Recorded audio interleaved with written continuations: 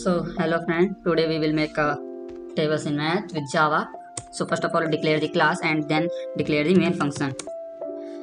So we need a user input so we declare the scanner. Scanner st object of scanner. They help you can call this new keyword. New is objects and ask the user sorry and enter the numbers. And call the scanner class int ui user input and call the st object int next next int because next integer integer types of value can ask. And then it is simple and initialize i and increment every time and print. We can change this print println to format. It is your choice.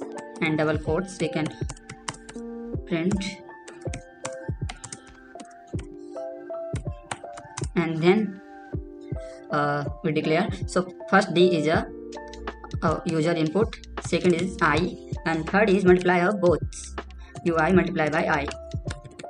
And we need a slash n because it is printed in one line. Yeah good. And run this program.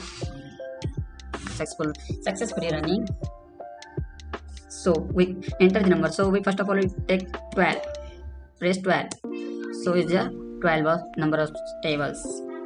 But our program is ended in one time. So we can change this program. We use the one types of loops while loops in above of uh, above where we ask the question while and uh, initialize true because is it is infinite loops.